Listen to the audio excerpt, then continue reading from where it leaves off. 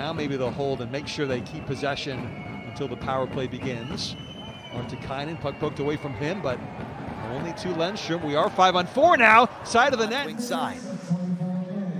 Remember, if Tampere scores a shorthanded goal, the power play is over.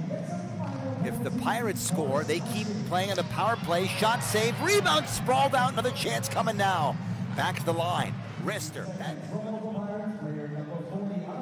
The backhander to the right wing side. They center and just missing. That may have glanced off the stick of Sorensen and the point blank opportunity four on four. Just the second appearance for Lahti in the Champions Hockey League. On the puck, Uutinen has a man to his right, gets it there from the skate to the stick, the rebound. Oh, sensation! Oh, here's a chance for It's A beautiful save by Niederberger. Absolutely robs. But are we going to get a penalty shot? Yes, we are. Gaudet has been given a penalty shot, and here he goes to tie the game. Saved by Heljanko. Played ahead by Haschtag. Now he has to backtrack into the slot. Rister, what a save!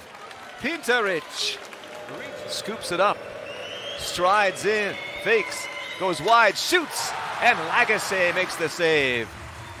Max Lagacé. Here comes Rantanen winding down the left. Gets to the front of the net, backhand, forehand, and saved by Pinterich.